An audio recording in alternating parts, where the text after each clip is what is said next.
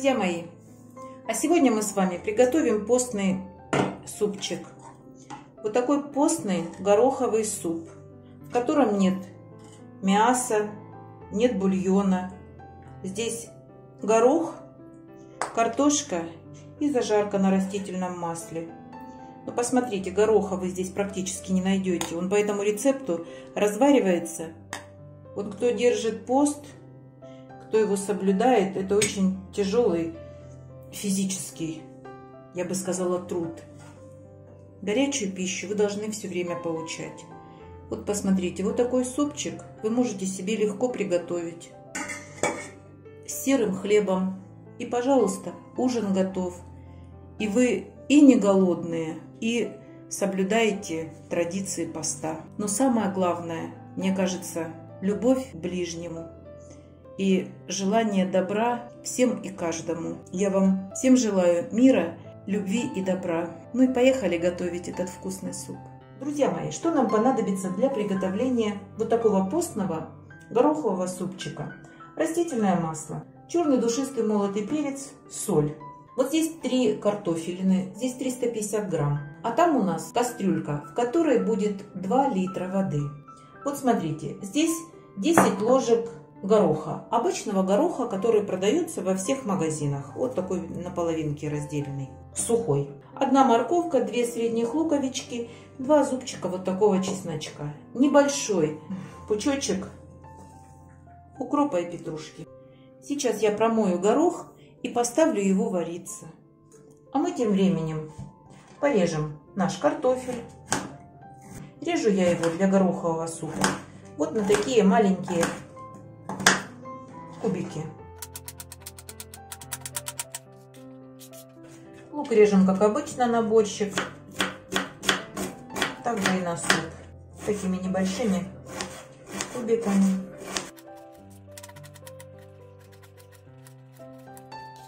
Морковь будем натирать на терке. Укроп меленько порежем. Укроп здесь и петрушка. Немного. Нет свежей зелени, из заморозки достанете. Нет заморозки, купите сухой укроп. Везде продается. А на зиму замораживайте. Иногда очень годится когда вот просто или забыл, или что-то. У меня есть в заморозке. Я вас научу замораживать. Умная такая, да? Я умею, никто нет. А чеснок мы просто раздавим и мелко порежем. Что я хочу про заморозку сказать. Я все замораживаю. У меня пол холодильника, пол морозилки. Клубники. Клубники перетертой с сахаром. У меня есть замороженные даже кабачки замороженная с морковью кубиками порезанный перец болгарский. Что-то у меня там еще есть заморозки. Я сама не знаю, зачем я это делаю осенью летом. Но все же делают, и я делаю. Ну, можно ну, этот чеснок вот сюда к петрушке. Мы будем почти одновременно бросать в суп. Вот я не поленилась. И сейчас я вам покажу. Вот смотрите, в заморозке помидоры вот такие на пиццу. Вот так замораживаю укроп. Надо быстро показывать. Вот так замораживаю кабачки для рагу. Вот так замораживаю кабачки для, может быть, оладьи сделаю на днях. Вот так замораживаю здесь морковь вместе с этим, с болгарским перцем. И вот еще. Быстро в морозилку, иначе растает. Вот так замораживаю клубнику с сахаром. Вот в такие контейнеры. И вот так замораживаю целую клубнику для украшения тортов. И так просто едим. Вот такая она деревянная. Похвасталась. Оцените напишите. Вот заняться нечем было летом. Так, лирическое отступление закончилось. Поехали готовить постный суп. Смотрите, в холодную воду 2 литра в кастрюле насыпаем обычный горох вот такой из супермаркета и дайте закипеть. Вот на 2 литра воды я специально посчитала 11, 10-11 ложек гороха сухого.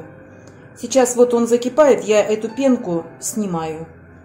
Варим в течение получаса. 30 минут у меня кипит. Вот посмотрите, как горох раскрылся.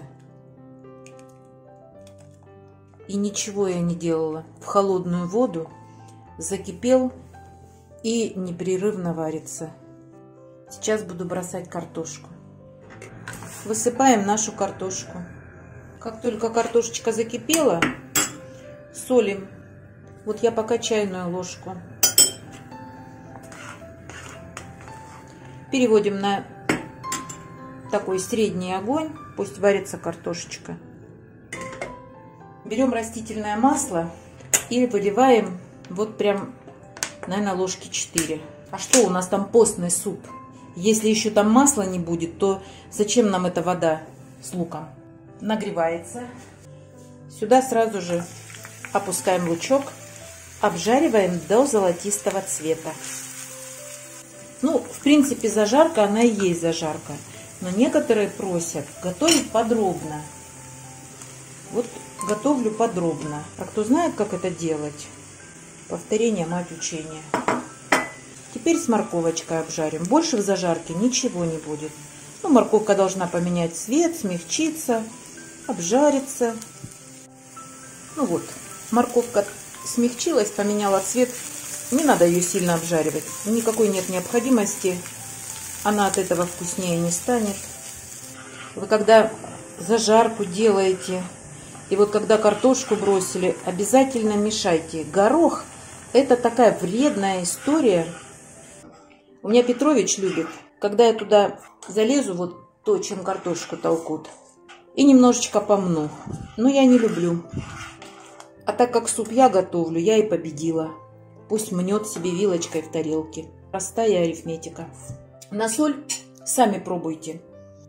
Вот это любимый суп моего Петровича. Он не любит бульон, не любит, чтобы там мясо плавало. Вот это для него идеальный суп на воде, гороховый, простой суп. Вот сейчас сюда, сюда капельки я жадина зажарку. Сейчас дам покипеть минуты три. Крышечкой закрою и пусть покипит минуты три на слабом огне.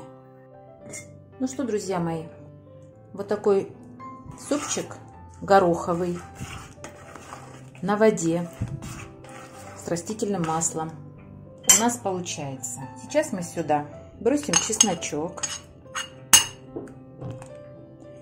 нашу зеленушечку, все хорошо проявляется картина маслом. Посмотрите. А еще сюда для вкуса я добавлю совсем немножечко. Вот прям на кончике ложечки черный молотый душистый перчик.